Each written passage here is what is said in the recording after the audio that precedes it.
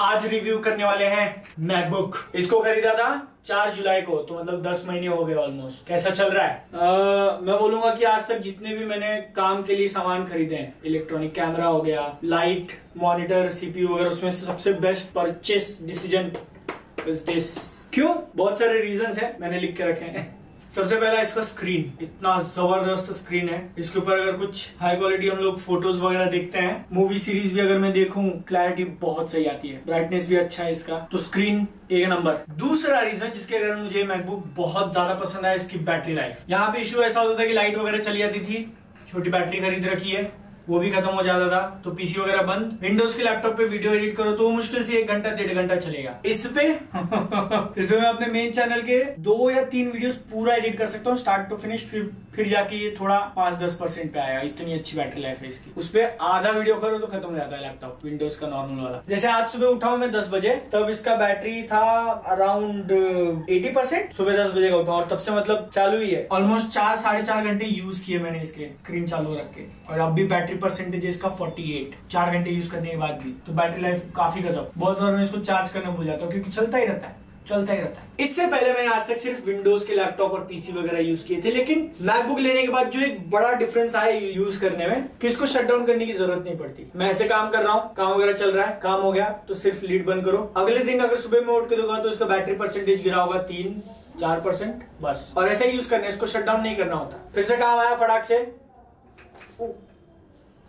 काम आया फटाक से, ऐसा पकड़ो ऐसा खोलो स्क्रीन चालू, काम चालू। लॉगिन वगैरह करने का झंझट नहीं पासवर्ड डालने का झंझट नहीं क्योंकि फिंगरप्रिंट है। तो ये बहुत सही लगता है इसका। नेक्स्ट रीजन जो इसकी बहुत अच्छी बात है, एक और बेनिफिट इसका है कि परफॉर्मेंस काफ़ी गजब। तारीफे मैं ज़्यादा कर रहा हूँ क्योंकि एक्चुअल में इतना अच्छा है परफॉर्मेंस इसका। एक रीजन था ये चीज़ खरीदने की कि अगर मैं कभी बाहर गया, जैसे मुंबई गया, दिल्ली वगैरह कहीं गया और वहाँ मुझे वीडियो बनाना पड़े तो फिर ये धोखा नहीं देगा। और इसका एक और बेनिफिट होता है कि मैं कैमरे से रिकॉर्ड करता हूँ फ़ोन से रिकॉर्ड करता हूँ। मुझे वो फुटेज यहाँ भेजना होता है ताकि एडिटर एडिट करे। होटल का वाईफाई सब वहाँ पे फ़ोन का डाटा उतना फास्ट नहीं चलता। तो इसीलिए वो फ़ाइल मैं पहले इसमें डालता हूँ और उसको कन्वर्ट करता हूँ कम क्वालिटी के अंदर। तो आधे घंटे, चालीस मिनट की रिकॉर्डिंग रही। उसको अगर मुझे पूरा वीडियो वापस से एक्सपोर्ट करना है, आठ, नौ, दस जीबी की फ़ाइल को एक जीबी डेढ़ जीबी तक कन्वर्ट करना है तो वो ये तीन मिनट में कर देता है। तीन, साढ़े तीन मिनट में फुल वीडियो एक्सपोर्ट और वही है, ये पीसी लिया था मैंने। डेफिनेटली इसे कम पावरफुल है, लेकिन इसमें अगर मुझे छह मिनट की वीडियो भी एक्सपोर्ट करनी है तो उसको दस मिनट लग जाते हैं। इसमें तीस, चालीस मिनट की वीडियो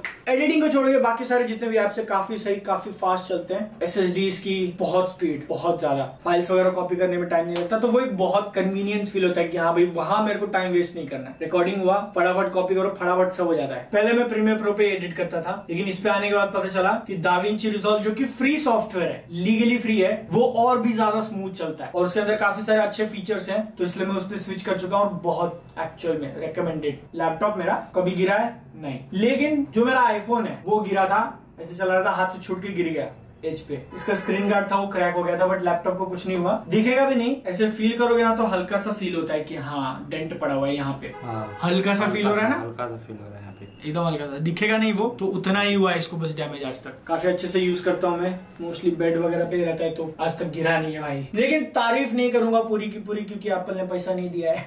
इसको लेने के बाद प्रॉब्लम्स मुझे फेस करने पड़े जैसे कि शायद दस दिन या पंद्रह दिन में इसके हिंज का आवाज़ आने लगा था और उस पर ब्लॉग बना हुआ है अपना। जाके देख लेना। जितनी बार भी मैं इसको ओपन करूँ कट बंद करूँ कट आवाज़ आने था। तो वो टेंशन आ गया था कि भाई इतना महँगा लेने के बाद भी खराब हो रहा है। क्या क्या क्वालिटी कंट्रोल है? और उसको एक बार रिपेयर करने दे दिया तब से कुछ नहीं हुआ। तब से हिंज इसका एकदम सही चल रहा है। हाँ, लेकिन इसने डर इतना बिठा दिया कि ट्वेंटी फोर थाउज़ेंड का इंश्योरेंस अलग से लेना पड़ा कि भाई आगे चल के और इश्यू आ गया तो पूरा लैपटॉप वाट लग जाएगा। और दूसरे क्रिएटर की हॉरर स्टोरी सुनी मैंने। जिससे कनेक्टेड अगला पॉइंट है कि ये चीज़ बहुत महँगी है। काम अच्छा करती है, लेकिन महँगी है। जिस टाइम पे मैंने इसको खरीदा ना, एकदम तो काफ़ी सही टाइम मानता हूँ मैं, क्योंकि कुछ महीनों बाद एप्पल ने इसका अपडेटेड वर्जन निकाल दिया अंदर। M1 प्रो चिप है, उन्होंने M2 प्रो निकाल दिया, लेकिन इसकी एस की स्पीड आधी कर दी। बेस मॉडल है ये 14 इंच का, और नया वाला जो 14 इंच का बेस मॉडल निकाला, उसके अंदर शायद प्राइस भी बढ़ा दिया है स्पीड कम कर दिया। तो मेरे को लगता है मैंने सही टाइम पे ले लिया भाई। वरना एसएसडी की स्पीड ये वाली सेम चाहिए नई जनरेशन में तो तुमको शायद बीस हज़ार रुपए एक्स्ट्रा देने पड़ते हैं। ऑलरेडी इतना महँगा होने के बाद भी। ट्रैक पैड इसका इतना ज़्यादा स्मूथ है इतना ज़्यादा स्मूथ है कि तीन चार महीने इसको कंटिन्यूस चलाने के बाद जब मैंने विंडोज़ लैपटॉप के ऊपर हाथ रखा और उसका ट्रैक पैड मुझे इतना क्या वर्ड यूज़ करूँ मैं? इतना खराब इतना घटिया लगा विंडोज़ वाला। बोला भाई ये क्यों नहीं है? और एक्चुअल में बहुत लोगों को यूज़ करते हुए रियलाइज़ नहीं होगा लेकिन ये पूरा का पूरा ग्लास है। विंडोज़ के लैपटॉप में तुम यहाँ और यहाँ क्लिक करोगे तो वो नीचे प्रेस होता है अंदर जाता है वो। इसमें ये ग्लास है ये पूरा चिपका हुआ है ये नीचे प्रेस नहीं होता लेकिन कोई अगर दबाएगा ना तो उसको लगेगा कि नीचे दब रहा है इधर आग करके देख। हम्म। लग रहा है ना कि क्लिक कर रहे हैं हम लोग लेकिन वो हिलता नहीं है वो नीचे से ना वाइब्रेट करते हैं उसको। तो वो वाइब्रेशन से ऐसा लगता है कि तुम क्लिक कर रहे हो। वो अंदर तू तू ही करके देख ले। कैमरामैन इधर इधर इधर शक्ल दिखा गया ऐसा। अरे। लग रहा है ना? हाँ। है ना?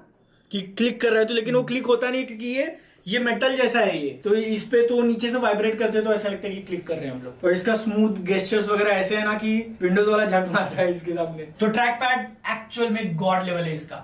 गॉड लेवल लेकिन विंडोज़ लैपटॉप ज़िंदगी भर यूज़ करने के बाद जब इस पे आया तो थोड़ी इनकन्वीनियंस हुई। बहुत सारी चीज़ें नई नई सीखनी पड़ी शॉर्टकट्स वगैरह। कीबोर्ड इसका अलग है कंट्रोल नहीं है इसके अंदर अल्ट बटन नहीं है कमांड ऑप्शन से काम चलता है। तो वो लर्निंग एक्सपीरियंस ज़रूर था, लेकिन कई कई जगहों पे मैं मिस करता हूँ विंडोज़ लैपटॉप को जैसे अगर मुझे लाइव स्ट्रीम वगैरह करना रहा मैन ऑफ़ कल्चर का। या फिर डिस्कॉर्ड के साथ साथ ओबीएस रिकॉर्ड करना है तो फिर बहुत झंझट करना पड़ता है अंदर जाके ऑडियो की सेटिंग बदलो ये करो और कभी कभी ऑडियो के ग्लिचेस भी हो जाते हैं। तो इसीलिए अगर वो सारे काम करने रहे तो मैं भी, भी विंडोज़ ही प्रेफर करूँगा। और क्या मैंने बताया कि बहुत ज़्यादा महँगा है। लाइक जो दूसरा हमारे पास विंडोज़ लैपटॉप है उससे ये तीन गुना महँगा आता है। थ्री टाइम्स डायरेक्ट कॉस्ट बहुत महँगा है। डस्ट मैग्नेट भी इसको बोल सकते हैं हम लोग क्योंकि छोटी छोटी पार्टिकल्स भी इसके ऊपर जल्दी दिख जाती है। और स्क्रीन की तो बात ही मत करो भाई इतनी तारीफ़ की मैंने लेकिन अगर हल्का सा टच भी कर दिया तो फिंगरप्रिंट रह जाएगा उसके ऊपर। और काफ़ी नाजुक फील होता है वो। देख के तुमको काफ़ी घिनौना लग रहा होगा लेकिन इसको साफ़ करो हर हफ़्ते तो हाई मेंटेनेंस मांगती है ये। मैग्नेटिक चार्जर है इसका, काफ़ी सही फीचर है। चार्ज भी बहुत फास्ट होता है। लेकिन चार्जिंग के साथ साथ अगर तुम वायर वाले हेडफोन यूज़ कर रहे हो तो फिर हेडफोन के अंदर आवाज़ आती है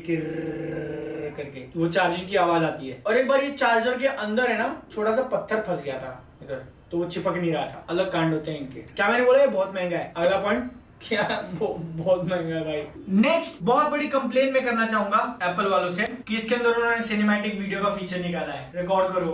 उसको शेयर वगैरह करने से पहले प्रोसेस करता है और उसमें टाइम लग जाता है दस पंद्रह मिनट कभी कभार अगर मेरा एयर ड्रॉप नहीं चला इस पे से इसमें तो मैं गया। क्योंकि इससे वायर कनेक्ट करो, वो अलग ही कहाँ लेके जाता है भाई? नॉर्मल तुम सोचोगे कि विंडोज़ से हम लोग फ़ोन कनेक्ट कर लेते हैं डायरेक्ट कॉपी पेस्ट कर लेते हैं वो नहीं होता इसके अंदर। बहुत अलग अलग सेटिंग में जाना पड़ता है। मैं देख के डर जाता हूँ, मैं गया ही नहीं आज तक। वायर से कभी ट्रांसफ़र ही नहीं किया। क्यों? क्योंकि वो सेटअप करने का झंझट अलग और उतना होने के बाद भी स्पीड नहीं मिलेगा क्योंकि आईफोन का पोर्ट बहुत स्लो है डाटा ट्रांसफ़र के लिए बहुत ज़्यादा स्लो तो में कुछ लोगों को लगता होगा कि मैक ओएस काफ़ी सही है और क्रैश वगैरह नहीं होता ग्लिचेस वगैरह नहीं होते तो ऐसा नहीं है। एक बहुत कॉमन प्रॉब्लम मैं हर बार फेस कर जाता हूँ कि अगर मुझे लैपटॉप से आईफोन में रील सेंड करनी है रील मैंने इस पे एडिट कर लिया इंस्टाग्राम पे अपलोड करने के लिए फ़ोन में सेंड करना है तो इसका फ़ाइल मैनेजर ग्लिच कर जाता है। हाँ और वो बंद भी नहीं होगा, मेरे को पूरा लैपटॉप रिस्टार्ट मारना पड़ता है तो ठीक होता है। हर बार होता है, अभी भी मैं करने जाऊँगा तो अभी भी हो जाएगा। फिर रिस्टार्ट मारो, फिर सेंड करो तो दूसरी बार चला जाएगा। इतने टाइम से वेट करो कि भाई अपडेट डाल के वो लोग फिक्स करेंगे। अब मेरे साथ ही हो रहा है। पता नहीं। तो ये सारे इश्यूज़ हैं, लेकिन फिर भी मैं बहुत ज़्यादा खुश है कि मैंने लिया, बहुत ज़्यादा। क्योंकि वो जो तुम फुटेज देख रहे हो इसका, वो तो भैया विंडोज़ सपोर्ट भी नहीं करता है। तो इसीलिए अगर मैं बोलूँगा तुम्हारे पास सत्तर हज़ार का बजट है, और तुम सोच रहे हो विंडोज़ लैपटॉप लेने का गेमिंग तुमको ज़्यादा करनी नहीं है, या करते ही नहीं हो तो डेफिनेटली मैकबुक ट्राई करना एक बार। वो एक्सपीरियंस जो मिलेगा वो विंडोज़ उतना प्रोवाइड नहीं करो। विंडोज़ के अपने अलग बेनिफिट है गेमिंग लेकिन वीडियो एडिटिंग वगैरह के लिए। सत्तर हज़ार के कंपैरिजन में मैं बोलूँगा तो कोई Windows laptop Apple MacBook Air M जो है 2020 का रिलीज़ हुआ, उसके आसपास भी नहीं आता बस सब्सक्राइब